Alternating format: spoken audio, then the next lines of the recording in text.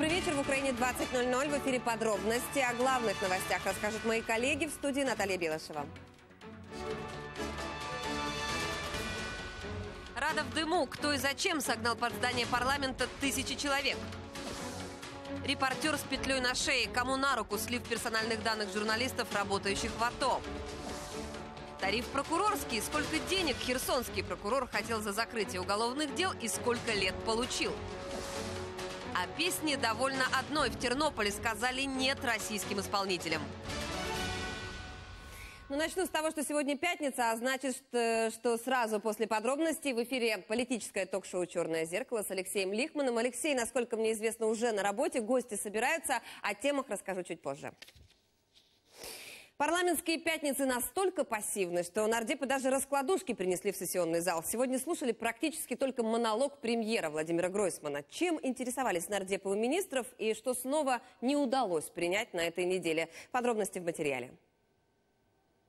После двух недель пассивного блокирования трибуны с требованием создать временную следственную комиссию по расследованию политической коррупции радикалы устали стоять и принесли в парламент раскладушки. Вибачте, в ногах правди немає. Це така акція, щоб привернути увагу. Там я думаю, якщо пісюар би принесли переносний, також би всі звернули увагу. В полупустом сессионном зале министры в полном составе отвечали на вопросы депутатов. Нардеп от самопомощи Татьяна Острикова призывала уволить руководителя киевской таможни из-за Злоупотреблений. Звертаюся до вас, щоб ви допомогли Насірову завершити це службове розслідування і звільнити Рудченка з займаної посади. Премьер перешел на эзопов язык. Як там податкові білочки? Були податкові білки, стали СБУшні охотники за привіденнями. Ті перестали тероризувати бізнес, з'явилися СБУшні бандформування, які на митницях тероризують чесних імпортерів. Білки е, повернулись на базу дислокації. А кожна білка, кожна білка отримає своє, я вам це можу гарантувати. То, что на смену налоговой полиции пришли работники СБУ в парламенте, не всем понятно. Я прошу підготувати довідки для народних депутатів, роз'яснення слово білка, мисливці за привидами, щоб депутати знали е, предмет і тему дискусії. Все материалы злоупотреблений на таможне премьер Гройсман обещал передать в антикоррупционное бюро. Собирается разобраться и с ценами на бензин. Сьогодні зранку ціна на паливо на українських АЗС зросла ще на одну гривню. Це прямий картельна, пряма картельна змова. На, майже на 3 гривни за місяць виросла ціна. Не зростає долар, не зростають акцизи. Чому? Такі дії синхронні мо- можуть носити ознаки змови щодо е, регулювання цих цін. В минулий вівторок перший віце-прем'єр-міністр е, направив е, звернення до антимонопольного комітету з питань перевірки цього питання. После вопросов к правительству зал и вовсе опустел. Озвученное с трибуны постановление, которое отменяет квоты на телеканалах, слушать было некому. Эти изменения в закон о телерадиовещании депутаты голосовали накануне. Согласно закону, не менее 70% вещания должны составлять передачи европроизводства, в том числе Украины, США и Канады. Специально поставили в пятницу постанову, зная, что депутатов не будет. В очередной раз произошла манипуляция. Э, Я обратил внимание о том, что с этим законопроектом, этим законопроектом дискриминированы целый ряд э, европейских стран. Нидерланды, Дания, Бельгия, Швеция, Ирландия, Греция, Люксембург. Вот это давление абсолютно необдуманное на телекомпании, на телевидение. Изменения в бюджет и налоговый кодекс на этой неделе нардепы снова проигнорировали. Единственный документ, который облегчает жизнь пенсионерам об отмене налога на пенсию, проголосовали вчера, но только в первом чтении. В основном парламент за- занимался политиканством, переименованием городов, какими-то декларациями, но ничего опять того, что нужно, то, что ждут люди, увеличение социальных стандартов, увеличение выплат, этого не было. Бюджет получил дополнительные доходы за счет инфляции, тем не менее не была выполнена основополагающая позиция по Конституции, что эти доходы должны идти на социальные выплаты. Под конец рабочего дня из парламента исчезли даже раскладушки. Радикалы разблокировали трибуну, а спикер в который раз пообещал создать временную следственную комиссию по расследованию политической коррупции. Ольга Рызер, Ирина Романова, Владимир Самченко, Сергей Еременко. Подробности телеканал Интер. Это не все новости из парламента. Сегодня Верховную Раду пикетировали представители гражданского корпуса АЗОВ. С какой целью они приходили, кто их собирал, мы поговорим об этом буквально через несколько минут. А пока о тарифах. Тариф прокурорский. В Херсоне при получении 25 тысяч долларов попался очередной взяточник в погонах. Его задержании отчитались в НАБУ. После детективы провели обыски в городской, и в областной прокуратуре. А все подробности узнаем у Кирилла Ющишина. Обыски в Херсонской местной прокуратуре детективы НАБУ устроили накануне вечером сразу после задержания прокурора на взятки 25 тисяч доларів. Вимагав за е, вплив на прийняття уповноваженими особами певного рішення щодо закриття кримінальних е, проваджень. Е, вказаний прокурор наразі він затриманий. Е, йому за правовою кваліфікацією частини 3 статті 369-2 повідомлено про підозру. Передбачається позбавлення волі на строк від 3 до 8 років з конфіскацією майна. Имя задержанного в НАБУ не разглашают. По информации собственных источников, это Денис Прохоренко, обычный служащий прокуратуры. Мы отправились туда за комментариями. Не-не-не, стоп, стоп. Нам вот человек сказал идти с ним. Что, что надо делать? Кого? Не-не, подождите, подождите. Сейчас, сейчас, сейчас. Извините. руки, Не-не-не, я же ничего, я ж... Пожалуйста, две минуты, сейчас. Я ну, рядовой работник. На эти моменты я отвечать и беседовать с журналистами не могу. Кроме местной, обыски якобы прошли и в областной прокуратуре в кабинете одного из заместителей прокурора. Получить подтверждение, так ли это, нам не удалось. Комментировать что-либо там отказались. Оно и неудивительно, говорят активисты, мол, вся местная прокуратура погрязла в коррупционных схемах и связях снизу доверху. Особисто в мене є письма, де ми на обласну прокуратуру, де показували факти на багато мільйон, десятки мільйонів гривень розграбовано в нашій області, особливо по піскам.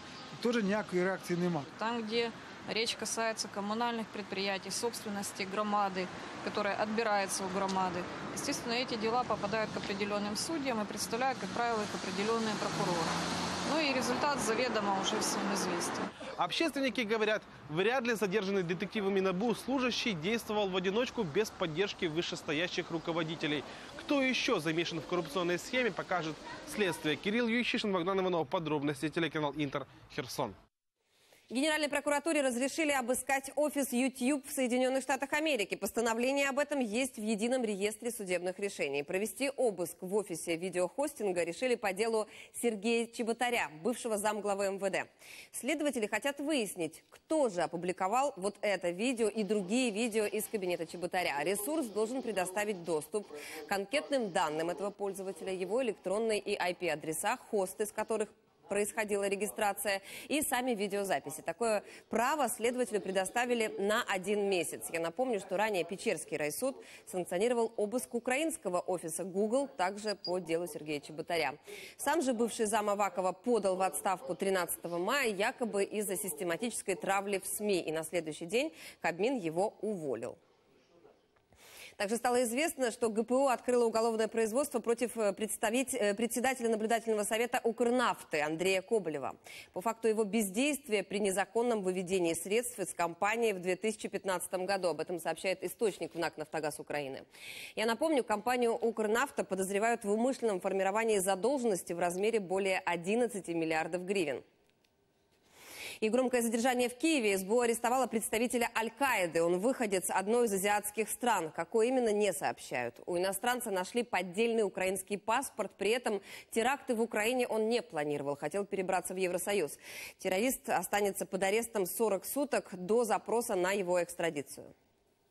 Він був засуджений умовно за підробку документів, але потім пішла далі перевірка, і Інтерпол підтвердив, що ця людина є причетною до діяльності Аль-Каїди. Зараз вона затримана і вирішується питання про екстрадицію до е, його країни. Служба безопасности также раскрыла многомиллионную финансовую схему в зоне АТО. Злоумышленники обналичивали деньги с карт своих клиентов. В основном это жители временно оккупированных территорий. За это получали проценты. Для махинации они использовали криптовалюту и международные платежные системы. Во время обысков в квартире одного из организаторов нашли платежные карты, компьютерную технику и носители информации. Бізнес був організований здебільшого в Донецькій та Київській областях. Вони встигли е, прокрутити понад 50 мільйонів е, гривень, е, чим не зап... що завдало збитків державі, оскільки до бюджету не пішли мільйонні податки. И вернемся к стенам парламента. Почти пустую Раду сегодня пикетировали люди с лозунгом «Требования нации нет капитуляции». Против, против чего на улице вышел гражданский корпус Азов? И кто организовал этот азовский всплеск, подробнее расскажет Егор Логинов. 10 утра возле монумента «Родина-мать» собирается будущий марш. И вот под бой барабанов участники шествия двинулись к Верховной Раде. Колонна растянулась на несколько сот метров. Чтобы избежать эксцессов, на улице Грушевского перекрыли движение автотранспорта. К охране порядка в столице привлекли около двух тысяч правоохранителей. Приблизительно столько же, сколько и участников акции. Во время марша с ними пообщался мэр Киева Виталий Кличко. Он как раз ехал мимо. Попросил их снять маски и соблюдать в городе порядок. Если человек прав, если он отстаивает свои права, он уверен в своей справедливости, прятаться не нужно.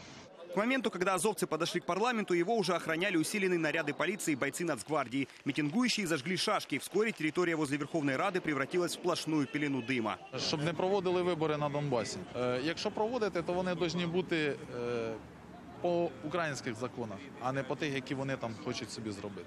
Лидер гражданского корпуса Азов, нардеп-фронтовик Андрей Белецкий, несмотря на окутанную дымом Раду, акцию назвал мирной и отметил, участникам сегодня неинтересно штурмовать парламент. А вот если депутаты не выполнят требования протестующих, они перейдут к более жестким методам. Я думаю, що в неї все-таки є інстинкт самозбереження. За собою залишаємо право на будь-які дії. Блокувати парламент, жорстко протистояти, блокувати АП. Вот как комментируют депутаты происходящее за окном. А я попитав моїх колег, які теж є спеціалістами виборчого законодавства. Вони теж нічого не знають і не беруть участь в підготовці закону. В даному випадку це я трактую це політична акція. От, виключно політична. Я прогнозую, е, можливо, наступ, ну, е, наступний рік у нас може бути е, роком нових виборів. От і все. І тому зараз іде активізація нових рухів, нових людей, е, нових політиків, презентація цих людей. И пока под Радой горят шашки, напомню, выборы на оккупированных территориях – это один из основных пунктов минских договоренностей. И то, что их нужно соблюдать, постоянно говорят многие западные политики. Вот глава МИД Германии Франк Вальтер Штанмайер в ходе недавнего визита в Вашингтон заявил, цитата, «Нам нужны компромиссы в принятии закона о выборах, который является предпосылкой для возможности проведения выборов на востоке Украины. Нам нужны срочные шаги в том, что касается успокоения военной ситуации». А вот посол ЕС в Украине Ян Тамбинский в интервью изданию «Фокус» отметил, выборы должны быть легитимными, пройти по тем правилам, которые приняты в цивилизованном мире. Главная цель этих выборов – получить полноценных представителей тех граждан, которые проживают на территориях самопровозглашенных республик. Егор Логинов, Олег Неведомский, подробности телеканал «Интер». Акция у стен Рады показала, что власть в стране принадлежит радикальным группировкам. Такое заявление размещено на сайте оппозиционного блока. Там считают, что митингующих поддерживают нардепы от Народного фронта и, фронта и МВД. По мнению оппозиционеров, митингующие делают все возможное для срыва выполнения Минских соглашений. В партии потребовали от властей расследовать сегодняшнюю акцию и дать правовую оценку всем прозвучавшим угрозам и призывам к насилию. Петр Порошенко, комментируя марш Азова, подчеркнул, что единственная возможность восстановить украинский суверенитет над оккупированными территориями – это политика дипломатического урегулирования. Военного пути возвращения Донбасса не существует, подчеркнул президент. По его словам, первые кадры марша появились на российском телевидении. Шины, петарды, сообщения о раненых полицейских, которые подыгрывают информацией о том, что сегодня якобы пытаются дестабилизировать ситуацию в государстве. Скандальный сайт «Миротворец», который курирует нардеп от Народного фронта Антон Геращенко, сегодня опубликовал новый список журналистов. Теперь в перечне не 4, а более 5 тысяч фамилий, номеров телефонов и другой личной информации военкоров, получивших аккредитацию в так называемый ДНР для освещения событий на Донбассе. Создатели ресурса заявляют, что действуют по закону и, цитирую, приносят свои искренние извинения, поскольку предыдущий список действительно оказался не первой свежести. Я напомню, публикация первого списка вызвала международный международный скандал, и сайт закрылся. Накануне его работу снова возобновили, и сегодня вот новый сюрприз. Комментарии мы хотели получить у куратора сайта Антона Геращенко, но в Верховной он сегодня не появился, в соцсетях об этом ни слова не написал, на наши телефонные звонки он не ответил. Я также напомню, что после первой публикации данных корреспондентов, кстати, не только украинских, но и американских, европейских, генсек Совета Европы Турбьон Игланд направил президенту Украины письмо, в котором призвал провести расследование и гарантировать гарантировать военкорам безопасность. Жесткая реакция Генсека, Генсека Европы только одно в череде подобных заявлений европейских чиновников, общественных организаций и правозащитников. Против действий миротворцев выступили также посол Евросоюза в Украине Ян Тамбинский и представитель ОБСЕ по вопросам свободы слова Дуня Миятович. Обнародование детальной информации о журналистах нарушает международные стандарты защиты персональных данных, а также не соответствует украинскому закону о защите персональных данных и подвергает риску самих журналистов.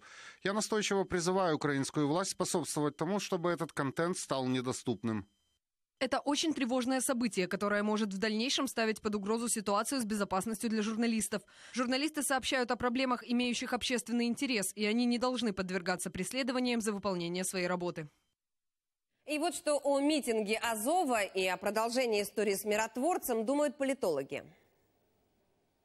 В Народном фронте чудесно понимает, что в стране существует потенциал, электоральный потенциал около 30% граждан, которые считают, что необходимо продолжать войну, необходимо продолжать радикальные действия, которые поддерживают радикальные действия.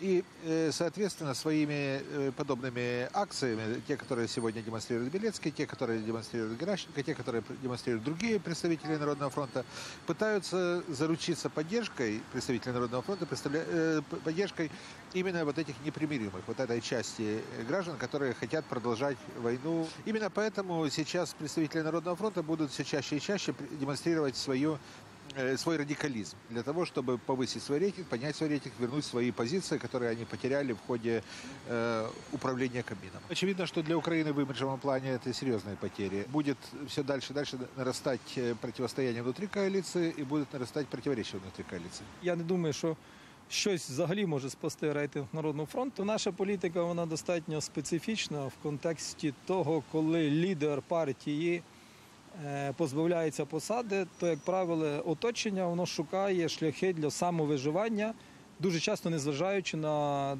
дальнішу, на подальшу долю свого лідера. Народний фронт насправді це збір на пляжу. Давайте будемо відвертими. То, скоріш за все, вони якраз займаються тим, щоб знайти свою подальшу нішу, свою подальшу перспективу політичну в країні, а не думаючи там про народний фронт. Думаю, що скоріше все це це так. Для рейтинга Народного фронта, что это, что называется, мертвому припарке. Как и в случае с миротворцем, так и с э, маршем Азова, ну, присутствует такая тактика ставка на обострение. Поскольку и в первом, и во втором случае имеется четкая связь с тем же Народным фронтом, то, очевидно, учитывая крайне низкие рейтинги этой политической силы, то есть делая ставку на обострение, пытаются напомнить о себе. Дескать, э, в случае, если к э, требованиям правых радикалов не прислушаются, то последуют куда более мощные акции. Противостояние партии мира и э, партии войны в украинском политикуме, по-моему, выходит на какой-то новый уровень. Скажем так, отношение к Украине и украинскому политикуму может измениться, ну, это совершенно очевидно. Я напомню, завтра и послезавтра Украина будет отмечать День Европы. Насколько связана череда уже прокатившихся скандалов и волнений с этой символичной датой? Ответ на этот вопрос будут искать гости ток-шоу «Черное зеркало». Как реагирует Европа и другие западные партнеры Украины на акции, направленные против реализации Минских соглашений? Как могут быть связаны такого рода мероприятия с очередным траншем МВФ, которого мы так ждем? Политическое ток-шоу «Черное зеркало» сразу после подробностей. И тем не менее, возможно, уже этим летом украинцы смогут ездить в Европу без виз. Такую уверенность выразил Павел Климкин. Министр иностранных дел заверил, что со своей стороны Украина выполнила все обязательства. И Еврокомиссия не рассматривает возможную отсрочку имплементации безвизового режима. Обсуждается только процедура, каким образом Еврокомиссия могла бы его отменять в случае очень серьезных нарушений. Не потрібно казати про відтермінування. Просто питання дійсно в плані міграційного менеджменту і розуміння, якими будуть європейські рішення, вони саме обговорюються цього місяця і наступного місяця. А вот дата проведения саммита Украина-ЕС все еще обсуждается. По словам Климкина, сейчас идет работа над графиком. Я напомню, что саммит был запланирован на 19 мая, однако по обоюдному согласию Киева и Брюсселя его решили перенести. Предварительно на сентябрь, но точная дата станет известна в июне на встрече Петра Порошенко с руководством Европейского Союза. В НАТО снова заговорили о России. В Брюсселе на саммите глав внешнеполитических ведомств стран Альянса коснулись темы взаимоотношений с Москвой и выразили сдержанный оптимизм. Причем все, от генсека НАТО до представителей крупнейших участников. Мнение выслушал наш европейский корреспондент Оксана Кундеренко. Сотрудничество с Россией приостановлено, но возможность политического диалога остается открытой. Эта фраза из уст генерального секретаря НАТО – мощный сигнал о том, что дела налаживаются. Йенса Столтенберга только и спрашивали о том, как Североатлантический альянс планирует выстраивать отношения с Москвой в преддверии саммита в Польше. На практике НАТО усиливает свои восточные рубежи дополнительными подразделениями, авиацией и даже системами ПРО. Главы МИД договорились о двойном подходе. С одной стороны, мощная оборона и сдерживание, причем и оборону, и сдерживание мы будем усиливать. С другой – политический диалог. Еще широкую поддержку получила идея созвать комиссию Россия-НАТО уже в ближайший месяц. Это наилучшая платформа для диалога, согласились ключевые игроки Альянса, которые раньше были настроены скептически. По словам главного немецкого дипломата, несмотря на все противоречия и различия, необходимо разъяснить России те решения, решения, которые планируются для принятия на саммите в Варшаве. У нас с Россией здесь, в Европе, происходят большие конфликты. Но в то же время мы должны приложить усилия и сделать Москву нашим партнером, когда речь идет о конфликтах в Ливии и Сирии. Именно Россия может помочь их разрешить. Они не хотят нас терять, заявил в ответ глава российского МИДа Сергей Лавров. И выразил недоумение, почему, прежде чем заявлять о проведении новой комиссии, об этом не посоветовались с Москвой. Будущие встречи России и НАТО надо обсуждать, и по плану ближайшая назначена на середину лета после саммита в Варшаве. Кстати, в это же время истекает срок санкций, принятых в ЕС против Кремля. И Франция осторожно намекнула, что не против их снять. Не сразу, поэтапно и только на определенных условиях. Необходимо, чтобы ситуация в Украине изменилась, но сейчас этого нет. Все, что происходит на границе с Европой, включая попытку сепаратизма в части Украины, в Крыму, должно измениться. Я сказал очень четко, что мы хотим снять санкции, но для этого нужны конкретные результаты со стороны России и со стороны Украины тоже. Украине на саммите НАТО отведут особую роль в Варшаве. Запланирована совместная комиссия на самом высшем уровне. С главами государств встретится президент Порошенко. Ему Столтенберг пообещал поддержку и практическую помощь, в частности, средства из трастовых фондов.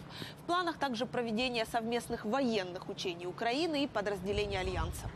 Оксана Кундеренко, Иван Ермаков. Подробности. Европейское бюро телеканала «Интер». Совет нацбезопасности и обороны утвердил новый стратегический оборонный бюллетень. Это позволит начать перестройку секторов безопасности и обороны страны для вступления в НАТО. И вот что сказал об этом президент Украины Петр Порошенко. Це не означає, що приймається зараз там рішення про вступ. Безумовно, ми залишаємося в сфері наших міжнародних зобов'язань, Але це той Рубікон, який переходить українські збройні сили і сектор оборони і безпеки для остаточного переведення під стандарти НАТО. Роман Греба, замминистра образования и науки, которого называют правой рукой Яценюка, может получить кресло в Центр избиркоме. Кандидатом в члены ЦИК его выдвигает тот же Народный фронт. Об этом написал на своей странице в Facebook президент украинского отделения организации по борьбе с коррупцией Transparency International Алексей Хмара. Он напомнил, что Греба был фигурантом нескольких громких скандалов, среди них злоупотребление при избрании конкурсной комиссии Нацагентства по вопросам предупреждения коррупции. Тогда квоту от общественных организаций организации заполнили людьми подконтрольными Кабмину. А теперь Яценюк предлагает Гребе организовывать национальные выборы. Это дно, резюмирует Хмара. Бензиновая карусель, сговор нефтетрейдеров или все же обоснованное повышение цен? Что влияет на стоимость топлива и можно ли остановить подорожание? Елена Митясова выясняла все подробности. Что ни день, то цены вверх. Поездка на АЗС для многих водителей уже как лотерея. Никогда не знаешь, почем сегодня литр. Только за последний месяц топливо в стоимости выросло на 10%. Это где-то в пределах 3 гривен, говорят водители. Была солярка недавно 17 гривен, а вот смотрю уже 18-29. Нефть на рынке дешевеет, а в нашей стране все дорожает. За неделю на гривню. Так що ставимо газ і катаємося. Два з половиною рази дешевше. Скачок цен на топливо нефтетрейдеры объясняют мировыми тенденциями. Мол, за последние несколько месяцев нефть на биржах подорожала на 20 долларов за баррель. Эту разницу украинские водители не ощущали из-за так называемого переходного периода. АЗС продавали старые запасы. Вот она уже там доходит практически до 50 долларов за баррель. То есть, если мы с вами самые нижние значения видели ниже 30, а сейчас она в районе 48-50, рынок построен таким образом, что мы покупаем э, нефтепродукт независимо от цены. Но стоимость нефти не единственный фактор, который формирует цену топлива. В стоимость заложены еще налоги, это 40%. Их нефтетрейдеры, кстати, платят Украине в евро или долларах, а также 20% эксплуатационных расходов. Транспортировка, хранение бензина, сюда же входит и прибыль АЗС. 85% цены формируется за счет цен на нефть и налогов. То есть тут никто не, тут не трейдер, никто другой не может ничего с этим поделать. И вот это основные причины. То есть там нет заработка там 10 гривен, 5 гривен на литре. То есть таких заработков в этой отрасли нет, и это, это знают все. Спрогнозировать, сколько будет стоить топливо завтра, нефтетрейдеры не берутся. Говорят, все зависит от курса доллара и мировых цен на нефть. Если начнут колебаться, смена ценников просто неизбежна. И все же нет ли сговора нефтетрейдеров? Мы пытались узнать в антимонопольном комитете, однако там сегодня эту тему не комментируют. Елена Митясова, Сергей Еременко. Подробности. Телеканал Интер. Не меньшие страсти бушуют и вокруг голубого топлива. Новые тарифы на газ для населения уже вызвали волну возмущения. Недоумевают и сельские жители, которым в правительстве не так давно и вовсе посоветовали отвыкать от газового отопления и переходить на дрова. Жители поселка Бельковцы, это в Житомирской области, лишь недавно приобщились к благам цивилизации. Газ туда провели всего лишь несколько лет назад. Уголь теперь практически не продается, а топить дровами – это минимум 10 тысяч гривен в месяц. Делится с нардепом от оппозиционного блока Юрием Бойко селяне. Но и новые цены на газ совершенно неподъемные, говорят люди. Нардеп уже пообещал инициировать создание временной следственной комиссии в парламенте, чтобы расследовать обоснованность и законность роста тарифов на газ для населения. Міністр виступає, каже, давайте селу газ не дамо. А от представте, це вони всі сьогодні грубки повикидали, а провести навіть опалення, як Надя говорить, 30 тисяч. А це виходить, що сьогодні нового котла треба завести. Тобто все по-новому робити. 20 мільярдів кубів газу добуває країна, із них 16 мільярдів видобуває держава. Це газ, який належить всім по Конституції, вам, в Києві, там, всім, на Сході, на Заході, всім людям країни. Собівартість цього газу 700 гривень тисяча кубів. Рішення продавати його за 7 тисяч 10 разів від собівартості це антинародне грабунське рішення. Тему энергобезопасности Украины сегодня обсуждали эксперты и политики за круглым столом в Киеве. Один из главных вопросов – как увеличить экспорт электроэнергии в страны ЕС. Это возможно, считают в центре Разумкова. За счет расширения Бурштинского энергоострова и строительства двух новых энергоблоков на Хмельницкой АЭС. Проект уже есть, осталось решить технические вопросы. Завдяки цьому проекту ми отримаємо більш експортний потенціал. Ми отримаємо можливість добудови двох енергоблоків атомних, і в кінці кінців це дає можливість створення великого інвестиційного проекту. Де вже ревізія е, е, енерголінії е, Хмельницький Жешов, яка на сьогодні не працює. На сьогодні відпрацьовуються можливості, яким чином добудовувати енергоблоки Хмельницькі і так далі.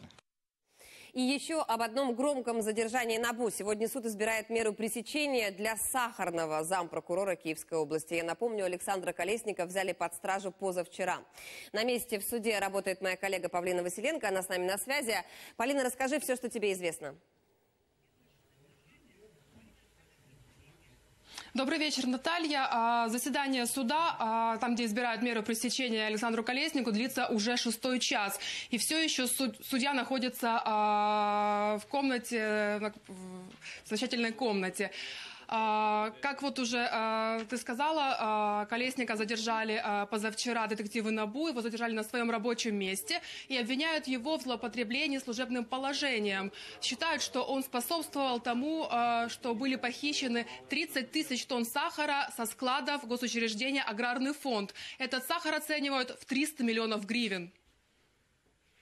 Очень жаль, что помощником в этом деле у них выступили сотрудники прокуратуры. По сути, завладели чужим сахаром, а товарищ, который сегодня находится на скамье подсудимых, подозреваемый Колесник, своими действиями содействовал завладению государственного сахара.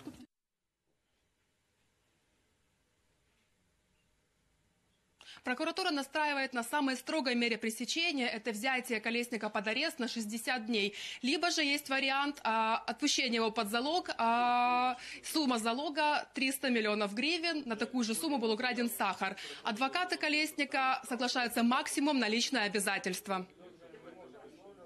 Немає підстав для того, щоб застосовувати цю міру запобіжного заходу. Якщо вони є, будь ласка, застосовуйте, але ви зазначте, на підставі чого ви цього робите. Але ми цього не почули.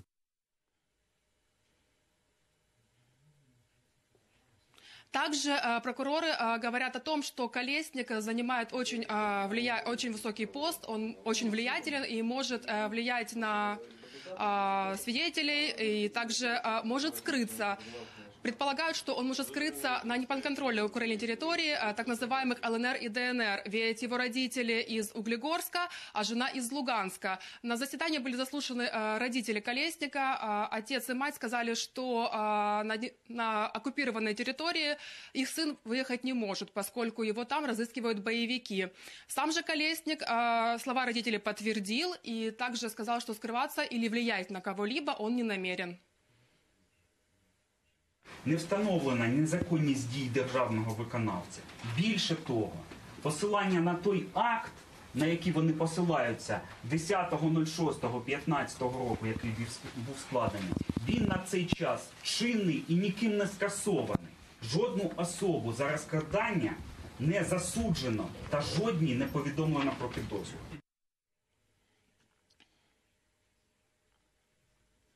По сахарному делу проходит еще 8 подозреваемых, но их имен не разглашают.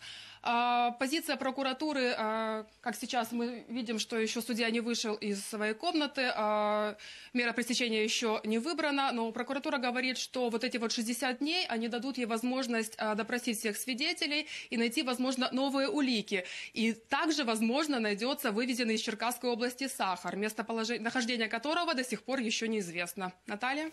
Спасибо, Павлина. Павлина Василенко о том, что уже шестой час суд пытается избрать меру пресечения сахарному прокурору Александру Колесникову. На сайте президента Украины появилась электронная петиция об отмене решения Верховной Рады о переименовании города Днепропетровск в Днепр. Автор петиции мотивирует это тем, что депутаты нарушили регламент и приняли решение без учета исторических событий и мнения местного населения, а также проигнорировали обращение местных советов и тот факт, что такое географическое название уже есть на карте Украины, а именно название реки. Если петиция за 91 день наберет 25 тысяч подписей, она будет рассмотрена президентом. Не станет ли переименование городов единственной реформой, доведенной до конца? И почему нардепы так охотно голосуют за благодатные в плане пиара законы, они занимаются более насущными проблемами? Об этом сегодня будут спорить гости ток-шоу «Черное зеркало» с Алексеем Лихманом сразу после нашего выпуска. Ситуация в зоне АТО продолжает оставаться напряженной. Боевики из минометов обстреляли Красногоровку. Несколько мин взорвались рядом с жилым сектором. В Маринке враг вел огонь из гранатометов и пулеметов. Все подробности расскажет Вениамин Трубачев. Это передовые позиции украинских военных в районе Красногоровки. Боевики эту территорию обстреливают ежедневно, в том числе используют и крупнокалиберные минометы. И вот все поле усеяно вот такими воронками. И бойцы говорят, обстрел может начаться снова в любой момент. Ночью бойцы насчитали до 30 разрывов. Еще 10 мин упали сегодня утром. Несколько из них рядом с частным сектором. Розліт осколків теж досить великий. І такі хвостовички ми знаходимо, якщо вони не розриваються. У нас ні дня, тобто доби без обстрілів мінометних. А в соседней Маринке, наоборот, чаще происходят уличные бои. На этом участке фронта позиции боевиков и военных находятся совсем рядом. Их разделяет буквально 500 метров. Это уже расстояние прямого выстрела из винтовки или пулемета. И вот за этой посадкой находятся дома, и там уже противник оборудовал огневые точки. Було у нас він відстрілявся так спочатку 5 патронів одиночними, потім випустив цілий магазин, потім пішло з ПКМ пострілів, десь порядка десь сотні, мабуть. Как правило, боевые действия начинаются ночью, но сегодня боевики стреляют и днем, слышны пулеметные очереди, поэтому между позициями нужно перебегать в целях безопасности. На такие обстрелы военные стараются не отвечать. Були обстріляні з гранатометів чи, мабуть, РПГ-7. Також е, снайпер був, ну, з терикона звідти видно. Помимо Марьинки и Красногоровки, боевики активно обстреливают позиции украинских военных в районе Новотроицкого. На этом направлении также активизировалась и воздушная разведка противника. Бойцы говорят, что постоянно фиксируют в небе вражеские беспилотники. Вениамин Трубачев, Вадим Ревун и Николай Терещенко. Подробности телеканал Интер, Донецкая область. Головокружительную карьеру от министра до литератора совершил беглый глава МВД Захарченко. Вот только презентация его опуса осталась без внимания даже со стороны российских СМИ. Что за шедевр состряпал на скорую руку бывший соратник Януковича, узнаем от Данила Русакова. Презентация книги беглого экс-главы МВД Захарченко о событиях зимы 2014 в Киеве в самых лучших традициях прошла в Ростове-на-Дону. Название для своего опуса он тоже выбрал ожидаемое «Кровавый Евромайдан. Преступление века». О том, что Захарченко еще и писатель, прежде информации не было. Но перебежчик уверяет, над созданием труда тиражом аж в 5000 экземпляров он трудился целых два года. Помогал некий русский писатель из Словакии. На пресс-конференции его назвали даже философом. Но разделить лавры славы Захарченко писателю не удалось. Недавно скончался.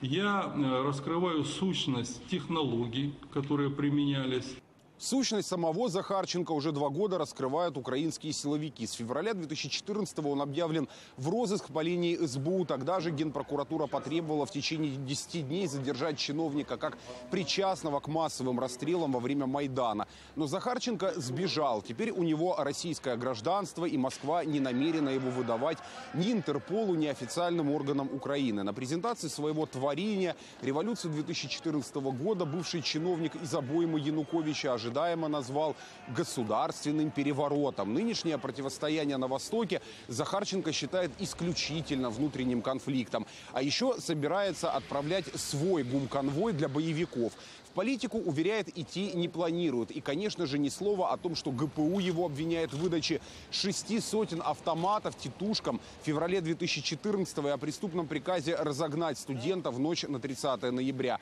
Гибель манифестантов на улице Институтской, которой Захарченко, как глава МВД, приложил руку лично, описал вот так, цитирую. «Я не хотел свести только к расследованию этих расстрелов. Я хотел выйти за горизонт». Конец цитаты. Судя по всему, попасть именно в этот пункт назначения в Ростове-на-Дону разыскиваемому бывшему главе МВД в итоге удалось. В Украину, где ему светит пожизненное заключение, он не собирается. Данил Русаков, Виталий Коваленко, Московское бюро, телеканала «Интер». Криминальный талант. Как погорев на миллионах, выйти сухим из воды. Советы от директора Львовского бронетанкового завода. Об этом чуть позже. Оставайтесь с нами.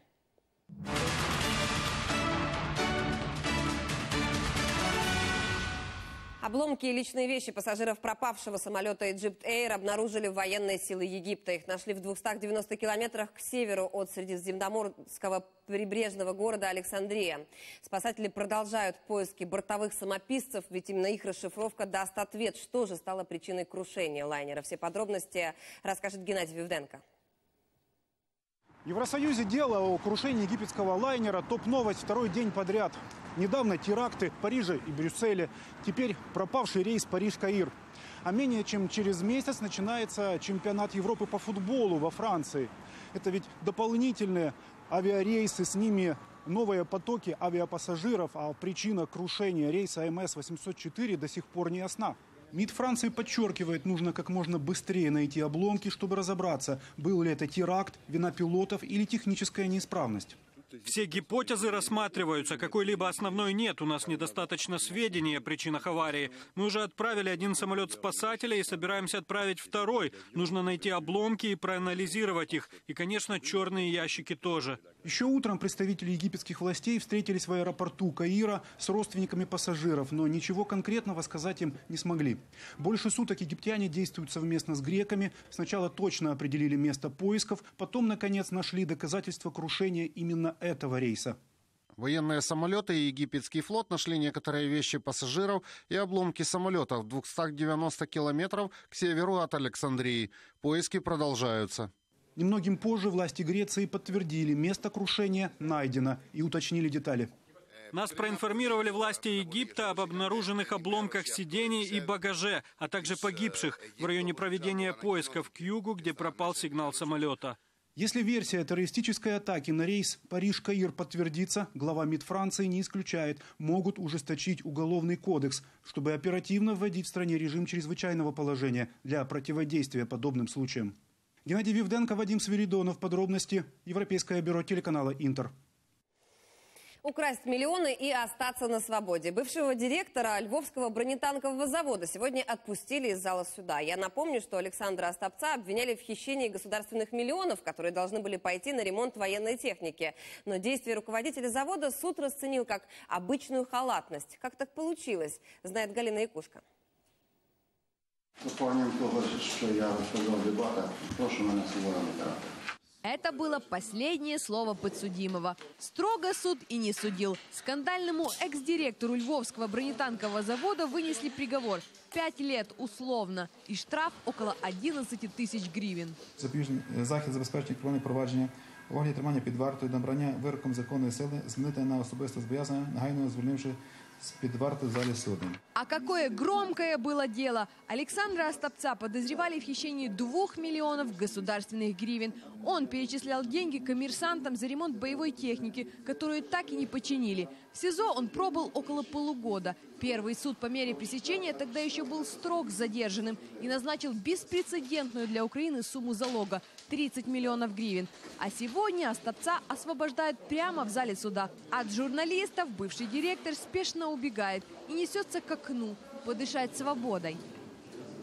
Его адвокат утверждает, Остапец перечислял деньги случайно, вину признал и покаялся. Це злочин е, е, середньої тяжкості. Він вчиняється з необережності. Він раніше жодного разу не притягався. Є особою пенсійного віку, має ряд тяжких захворювань уже упродовж тривалого часу. Прокуроры против выхода Остапца на свободу возражений тоже не имеют. Месяц назад они переквалифицировали дело, после чего Остапца судили уже не за хищение государственных средств в особо крупных размерах, а за служебную халатность. Рішення є справедливим, е, відповідає, відповідає вимогам кримінального законодавства.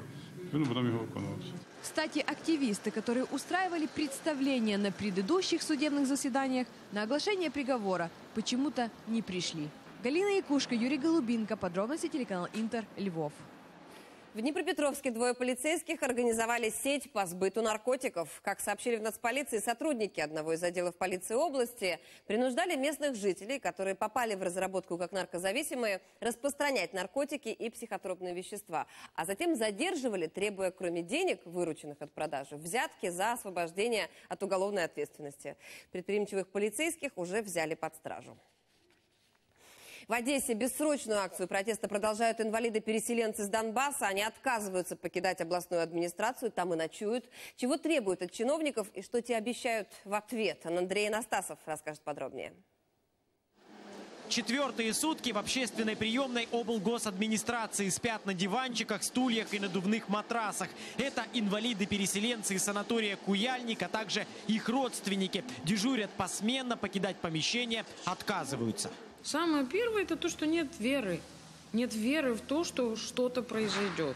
Протест начался после того, как санаторий, куда государство два года назад поселило людей, отключил в комнатах электроэнергию. С прошлого года чиновники задолжали учреждению более 70 миллионов гривен. То, что переселенцы, по сути, стали заложниками во взаимоотношениях санатория и власти, понимает даже десятилетняя Милана, инвалид-астматик из Донецка.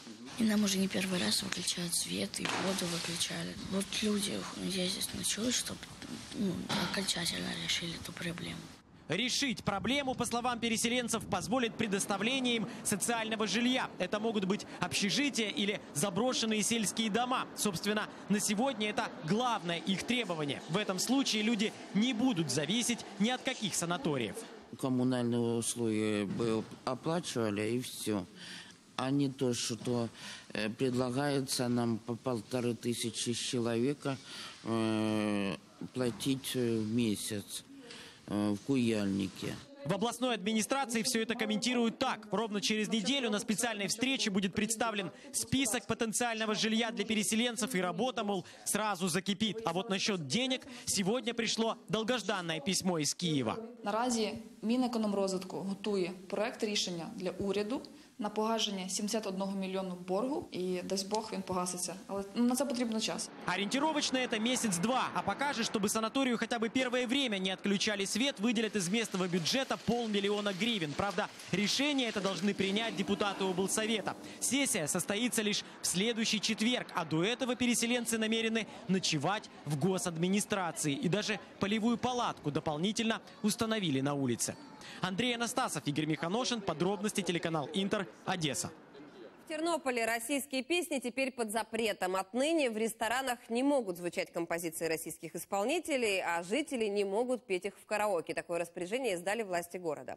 В черном списке исполнители или авторы, которые своими действиями создают угрозу национальной безопасности Украины. Всего 14 человек. Среди них Газманов, Кобзон, Лепс – не услышишь российской музыки и в общественных местах, а в городском транспорте запрещен также шансон и другая криминальная лирика. Тех, кто нарушит распоряжение, ждет наказание. За подібні порушення стосовно перевізників може бути прийнято рішення про позбавлення права здійснити перевезення на даному маршруті, оскільки це прописано в умовах договору. Стосовно закладів громадського харчування, ми розраховуємо більше на громадський контроль, на громадський осуд. И совсем другая музыка звучит в Канах, где звезды не только развлекаются, но и занимаются благотворительностью. Они обещают, что универсальное, универсальное лекарство от СПИДа будет найдено уже через 4 года. Сколько выручили на аукционе в этом году и что продавали, мой коллега Дмитрий Анопченко следил за одним из главных событий фестиваля – аукционом на Лазурном берегу и знает его результаты. Дима, здравствуй. Так чем в итоге завершились торги?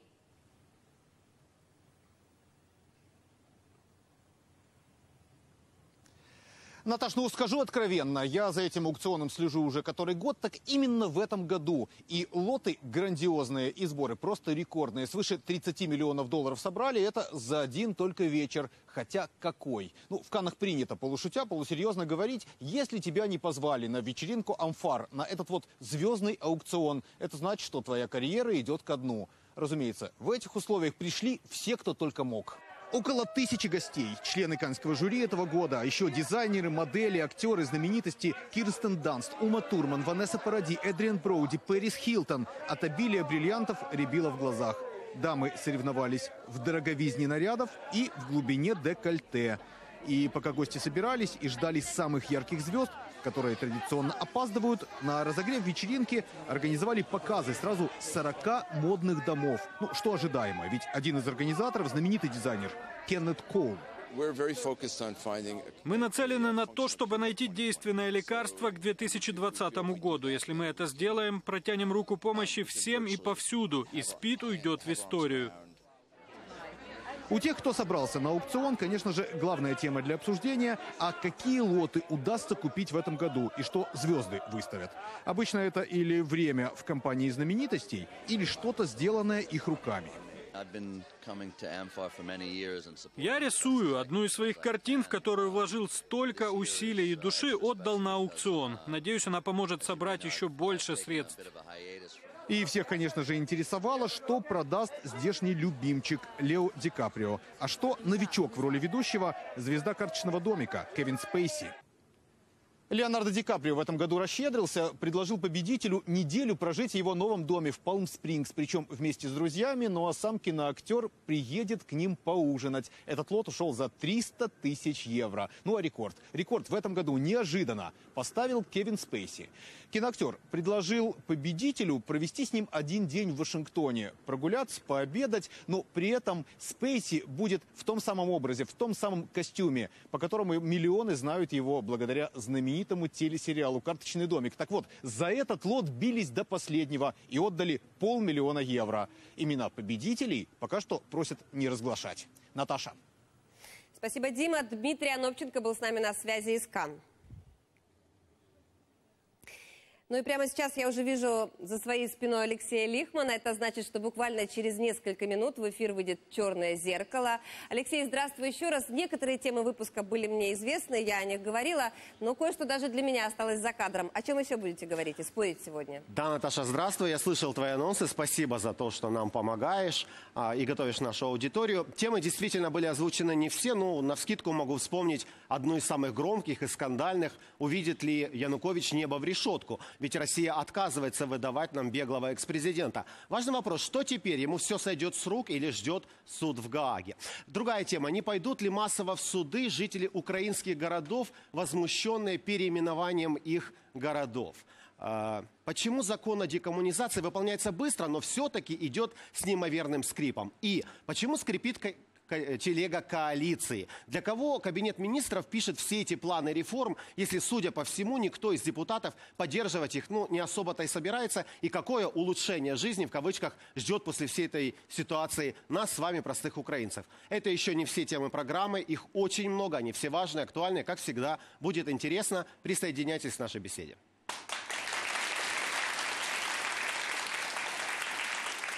Спасибо, Алексей. «Черное зеркало» в эфире сразу после подробностей.